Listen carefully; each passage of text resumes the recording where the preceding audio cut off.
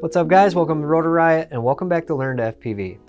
Today we're going to be talking about charging, how to charge your batteries, how to use the different types of chargers that are out there, and how to do it safely. The concepts and the actual process of charging batteries is very simple, but the potential for fire from these things is very real, so you need to take it serious. It's there's not there's only a few different things that you need to get right and you'll never have a problem, but it's it only takes one time to overlook something, do something wrong or be negligent and your house could be gone. There's been people in this hobby that are very prominent, been doing it a long time and they know what they're doing but one day they decided just to like slack off, not really pay attention, not be around, do something wrong, and they've had fire. So it's very important to be safe with batteries. So a few things to know about batteries themselves. A couple terms you're gonna see is C. You'll see a C rating, a charge rating, and that's also gonna be in C. What C means is capacity. So the C stands for the capacity of the battery. The the way that the batteries are rated is in milliamps. So this is a 1000 milliamp battery. It takes 1000 milliamps to get to 1 amp. So if someone says charge that battery at 1C, for a 1000 milliamp battery, that means charge it at 1 amps.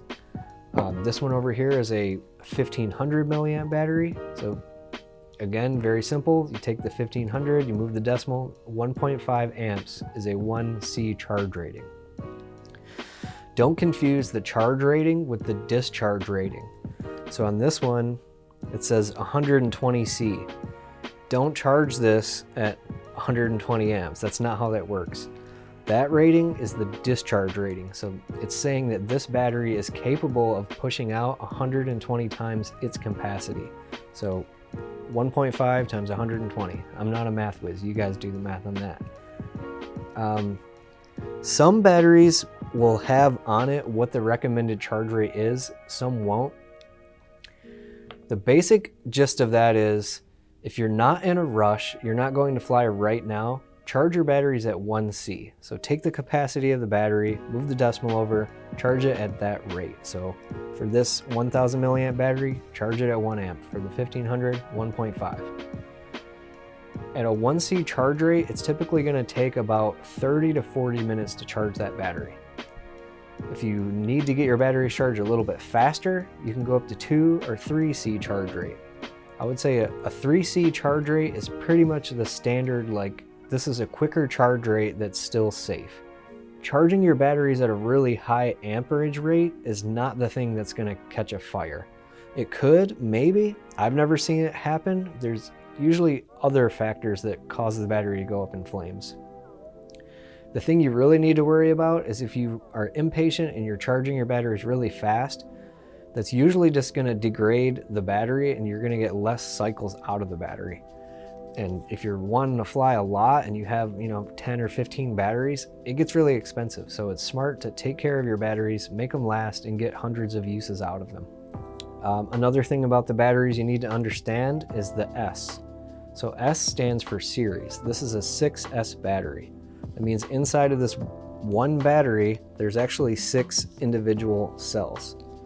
And those cells are run in series. So also to avoid confusion, it's S because it stands for series and because C is already used for capacity. So instead of being six cells, it's six cells in series. This one's a four cell battery or 4S battery. That's important because that's you're going to have to match that setting in the charger and it's also going to determine what charger you need. Most drones are going to run anywhere from a 1 to 6S battery and most chargers can do those ranges. But who knows, maybe you have something that runs on an 8S battery and the charger doesn't support it. It only goes up to 6S. So in that case, you need to look for a charger that can handle up to 8S. Okay, let's do a little quick look overview on the different types of chargers. So you're gonna see a lot of different chargers out there that look very similar to this. Um, this is what's commonly referred to as the four button charger because there's a ton of them out there, but they all have these four buttons. They all work really similar. I'm gonna show you exactly what they do in a little bit. And the other thing to take a look at on the charger is what kind of connections does it have. So what kind of connection does it have to power it from the wall, and what kind of connection does it have going from the charger to your battery. So both of these two on the left, they're gonna use what's called a banana plug. So it's this type of connection. These are gonna plug into here, you match up the colors, that's the connection.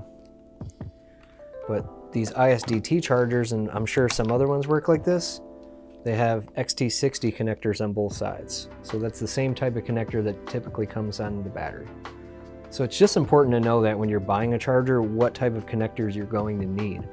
And if you can, look at the product page and try to figure out what it's going to come with because some chargers will come with the exact connectors you need. You can take it out, plug it in your batteries and start charging. Other times you might need to make one or, or buy one that's going to work for you. The other thing to know is whether it's an AC or DC charger. So this charger, it's an AC charger. That means that you can plug the power cord straight into this and plug it into a wall. And this one is like one of those computer type power cords. This one is gonna take an adapter and have like a barrel plug. So it's just good to know. Over here we have a DC charger. So this thing is doesn't have a power supply built into it. It has a XT60 plug, so you need some sort of power supply.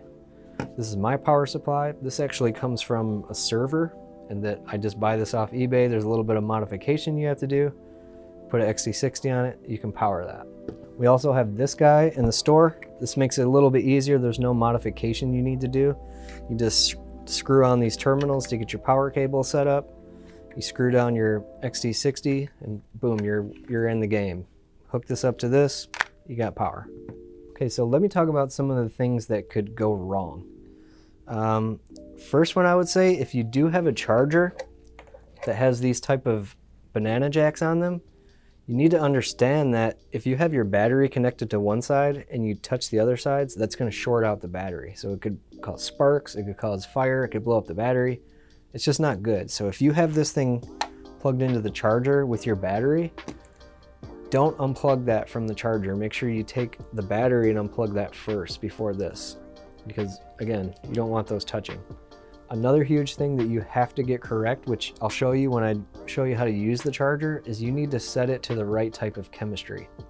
Not all batteries work exactly the same. So a lithium polymer battery, it's pretty much dead at 3.7 volts per cell. So again, there's six cells in here. Each and every one of them is gonna be at 3.7 when it's dead. When it's fully charged, each of those cells is gonna be 4.2 volts. Now there's different types of battery chemistries and they're not, they don't all match those numbers. So sometimes their full voltage could be higher. So if you tried to charge this thing on a different chemistry, there's a chance that it's not going to stop when it needs to at 4.2 volts per cell. It's gonna keep going. And that's when it gets really ugly. The battery will swell up, it's gonna get really ugly, and then it's gonna just burst into flames. And I've had one of those situations and the flames were up to the ceiling. It wasn't fun. And what happened to me was, is the next tip, I wasn't balance charging. You wanna always balance charge the battery. That's what these wires here are for. So each of these wires is gonna run into each of the individual cells. And by balancing it, it's making sure that each cell has an equal voltage to each other. You don't want your batteries to be out of balance. And you don't want to charge them without a balance lead. Because in my case, what had happened was the balance leads were chopped off and I had been charging it just, you know, regular charge, no balance for a while and getting away with it. It was okay. But then at some point, one of those cells in the battery, it died. It, it quit. It stopped being able to take a charge. Since I didn't have the balance plug plugged in, the charger didn't know that that one cell wasn't taking a charge. It was just going until it saw the voltage that a full battery should have. So what that means is this one wasn't taking a charge. The rest of them were getting overcharged to compensate for that. So pretty ugly incident. Luckily no one was hurt. Luckily I didn't burn the whole building down, but I definitely learned never charge without balance charging. Always balance charge every single time. Aside from that, things can just happen. Like it might not make any sense that you might have had a fire and not even know exactly what went wrong. And in my case, when I did have a fire, had I just been right next to it, it would have never happened. I could have reached over and hit stop. I could have unplugged it, got the battery to a safe place. So my last safety tip is just never assume that everything is going to go fine. Definitely stay within a close proximity and every couple minutes take a look, maybe touch the battery, make sure everything's fine. Don't leave your batteries charging unattended. Definitely don't set up a whole bunch of batteries charging and go to bed. That's a terrible idea because you could wake up with a house full of smoke or you could just never wake up again. I mean, I don't want to be I don't want to scare you here, but this is to be taken seriously. Do not sleep or just leave your house with your batteries charged. It's not worth it. Just wait till you have the time and monitor them while you're charging. So that's generally it. That's all you really need to look out for to make sure that you're gonna have safe charging. So monitor your batteries, check the balance plug from time to time, make sure each cell is you know pretty on par with each other. If you have a battery that's going out of balance from cell to cell, really take your time, charge it really slow and really watch it. Always make sure that your charger is set up to the right setting so you're not going to overcharge that battery and just always, always, always stay within a proximity while you're charging. Keep an eye on it. Don't, don't just walk away while you're charging. Okay, with that, I'm gonna go into this charger and walk you through the menus and just show you the basics of how to get charging. Let's go ahead and plug in the cables that we're gonna need. Almost every four button charger will have banana jack inputs. Depending on the one you buy or what type of battery that you're actually using, it may or may not come with the right connector on the other end. So this one I actually made. Um, the way to plug it in is very simple. Just match up the colors, black to black, red to red. You're also going to need a balance plug. This charger actually comes with a little board that's going to have one slot for each different cell battery, two through six cell. But I'm not really sure where that's at, and this will work too. So you can just either plug this straight in, or sometimes, like I said, it'll come with that board. You'll plug that in, plug your battery into that. But either way, you need a balance plug. Let's plug that in. So once again, main battery connector, balance connector. Very important to balance, always balance. So I'm gonna go ahead and plug the battery in. We're gonna be charging a six cell battery here today. Now, first thing you need to do is make sure that you are on the right chemistry of battery. So already it's on the correct one, LiPo, but just to show you the other options, there's LiLo, Life, LiHV. This is for nickel metal hydride batteries, um, NiCad, and lead acid. I'm not even sure what that does. We don't need that. We don't need that. Don't need that. So LiPo battery, that's the correct one. This is actually really important, probably the most important setting of the whole charger because different batteries are going to have a different end voltage so if you were to set this up for nickel metal hydride, it's not going to stop when this battery is actually full because it's expecting to run it to a higher voltage. So you, it's really important, make sure you're picking LiPo. And go ahead and hit start. Now here, if we cycle through, these are the different types of charging and discharging modes. It's already on the one we want. We want balance charge. But just to show you what else you can do, your storage. So a storage charge will be Wherever the battery is at, it's going to set each cell in the battery to 3.8 volts per cell. That's the nominal voltage that batteries like to rest at. There's discharge. So this would be like for a bad battery that you want to get rid of. You can set the voltage that you want to discharge it down to and just get all the juice out of it. Charge I would only use for a one cell because you could charge a battery without balancing it, but that's another way to get a fire. Uh, because if one of these cells is not accepting a charge, it's just going to keep charging the other cells until it sees the voltage it wants. But that's just going to overcharge them. It's going to swell up. It's going to burst into flames. So always balance charge. Balance charge is what we want. Now, it's set up for 4S. That means four cells in series. This is a 6S battery.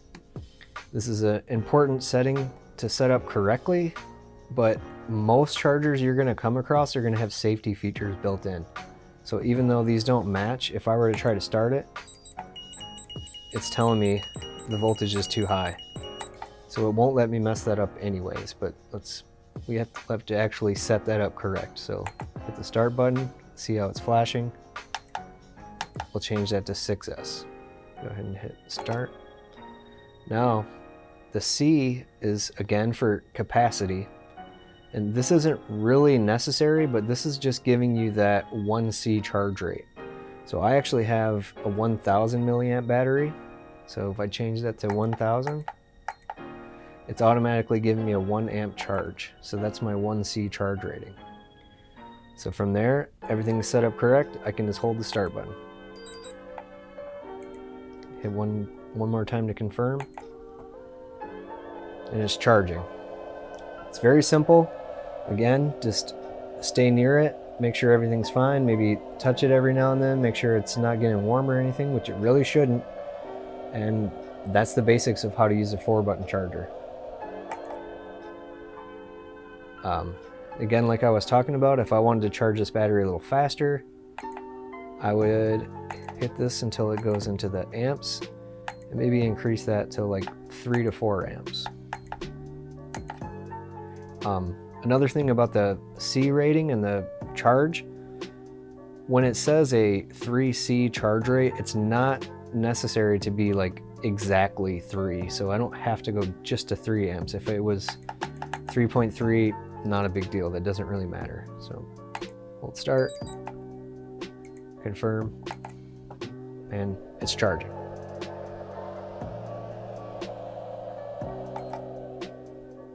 Okay, that was the four button charger. It's very simple. Let's move on to the one I actually use, the ISDT T8. Okay, so here I have my ISDT charger set up. It's gonna do basically everything the same as what the other charger did. It's just laid out a little bit different and overall, in my opinion, I would say it's a little bit easier to use. Um, so the main difference you'll notice is it does not take these banana type jacks. It actually has an XT60 connector built into it. So assuming you're using XT60s on your batteries, you can actually just plug the battery directly into the charger. Now for the balance leads, you'll notice that there's some notches. Those are going to correspond with the notches on the balance lead of your battery. So you want those facing down and you want to start at the left. So there's also a little icon here that kind of lets you know this is the side you need to start on. So all the way to the left with the tabs facing down. And as soon as I plug that in, you're going to notice it reads out the voltage of each individual cell automatically. I really like that. Uh, so on this charger, you're going to press the middle button to get into the menu. And this is basically everything you would need to set up. One of the cool things that makes it a little bit faster, a little bit easier to use, is the ISDT chargers will automatically detect how many cells of a battery you're using. So if I were to plug in a 6S, that's just going to jump up to 6, 2, whichever one. So that's one less thing to worry about. And if you did have it set up wrong, it's just like the other charger, there's safety features built in. It's not going to let you charge it wrong. So your battery type is up at the top.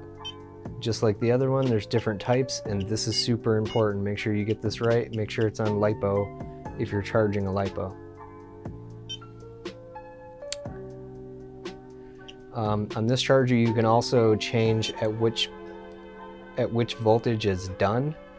I would recommend just keep that on 4.2. That's why there's a thumbs up there because that's really what it should be. If you want to get risky, you can push it a little over, but I would definitely recommend just keep it at 4.2. And then here's the current that you're going to charge at. So I think it goes, this charger goes all the way up to 30 amps. I wouldn't recommend doing that on just one battery. Uh, let's, again, let's keep it to our around 3C. Or in fact, I'm in no rush so we could just charge at 1C. 1C on a 1500 milliamp battery is 1.5 amps. a little fast for me. 1.5, hit enter, go down to start. It's very simple. Now it's charging and again, I'll say it again, don't leave and just trust that this is just going to be fine. It probably will, but if it's not, you're going to have a mess to come back to. So keep an eye on it until it's done. Okay, so the last thing we're going to talk about is parallel charging. What parallel charging is, is charging more than one battery at once. So if you remember, I said a 1C charge rate, it's going to take about a half hour to 40 minutes. So if you have 10 batteries, you might not want to wait five hours to charge all those batteries. So a way to get those batteries charged a little bit quicker is through parallel charging. You're almost always going to see parallel boards. I don't have one of those, but we'll put a picture right here. But what I prefer to use is these parallel cables simply because they're more flexible. It's a lot easier to get a bunch of batteries plugged into this. Whereas if you have a parallel board, it's going to be a small board. You need to get all your batteries kind of in a tight space. But there's pros and cons to that too. So the parallel cable, it's very easy to use. It's more flexible. But parallel boards, A, they have balance ports for 2 through 6S batteries. So for me, my parallel balance cable, this is only for 4 cell. So if I want to charge that 6 cell, I have to have a separate one of these for that. And B, there's a lot of parallel boards out there that have a little more protection. They have fuses in them, so if current spikes up and something's going wrong, the fuse will blow and it'll just stop taking in that current. So the way that parallel charging works, basically these two wires are split off into all these wires. So when I have six batteries plugged into those, it essentially becomes one big battery. That's how the charger sees it. It's just like taking all those batteries and actually making them one and plugging that in. So now when we were talking about our 1C or 2C or 3C charge rate, the way to factor that is you just add the batteries together. So this is a 1000 milliamp battery. Once 1C charge rate is 1 amps. If I have six of them plugged together, my 1C charge rate becomes 6 amps. The basic difference between parallel and series, parallel adds your capacity together, series adds your voltage together. Parallel charging also comes with its own sort of danger. The main thing that will instantly cause a fire is when you hook up batteries in parallel, you cannot mix voltages or different cell counts of batteries. If I were to plug in a six cell and a four cell together, it's not an even amount of power. So what's gonna happen is the current from this battery is gonna flow into this battery really fast and it's gonna cause this one to blow up. So you cannot mix. If you're gonna charge six cell batteries in parallel, you can only be using six cell. Four cell batteries in, in parallel, only four cell. That was my other LiPo fire I've had. I've had two. One was because I wasn't balance charging, and one was because I had a parallel board with a 6S battery plugged into it. And I just, I don't know, I didn't notice it. I wasn't paying attention. I took a three cell and I plugged it in, and pretty much immediately it just went, in, went up in flames. So Number one thing with parallel charging is you cannot mix voltages or different cell batteries. Number two is you should generally have the batteries pretty close to the same voltage. I don't think this one's as important. You're gonna see a lot of people tell you that they will only parallel charge batteries if every cell is exactly the same on every battery. The, the main problem, here's what's happening. So like I said, when you connect all your batteries together in parallel, it pretty much sees it as one battery. The analogy I like to make to people, it's like having six buckets, but each of those buckets is connected at the bottom with hoses. So even if they weren't exactly the same every cell, it's just like filling up those six buckets by filling up one on one side. Over time, they're all going to be at the same level. So it's the, basically the same exact thing is going to happen with batteries. If you have one that's at 3.9 on every cell and you have one that's at like 3.6, if you connect them together and let it sit, they're both going to be right about in the middle at like 3.7. The problem though is especially more on balance boards, the, the balance cables can probably handle it a little bit better. Once you plug in these balance leads, you're now connecting the two batteries and current is like water. It's going to flow and it's going to take the less least resistance. So sometimes what could happen is if you were to have a balance board and you plug two balance leads in that are way off on voltage, that current's going to rush from the higher charge battery to the lower one. And it could blow up your balance board if the traces on that circuit board are not rated to take that much current flowing through. You could probably get away with a little bit more on this because the wire is probably rated for a little bit higher. But in general, just keep them relatively close to each other. Don't, I mean, you wouldn't, there's no reason to have a fully charged battery and a fully dead battery together anyways because the fully charged one, it doesn't need to be charged. But that's the main thing you want to stay away from. Don't don't have one that's almost charged and one that's really low mixed together. Uh, like I showed you on the ISDT charger, the cool thing is as soon as you plug this in, you can see what the voltage of each cell in the battery is. So when I'm gonna parallel charge and I have a whole bunch of batteries laid out on the table, I just take them one at a time, I plug them in, I see what the voltage is. If one's an outlier and it's way different, I'll just kind of set that one to the side. If I find another one that's similar to that voltage, I'll add it to that pile and I'll charge those together later. So that's going to do it for charging. I hope you guys learned something. I hope you guys are going to be safe out there. I don't want to hear about anybody having any fires. That's definitely not a fun thing to have happen to you. So be safe, take it easy. Don't uh, charge at a really high rate unless you're really in a rush. And if you're in a rush, don't push it too hard. It's not good for the batteries and it's, it's just a little more risky. So thanks for watching and this is Learn FPV.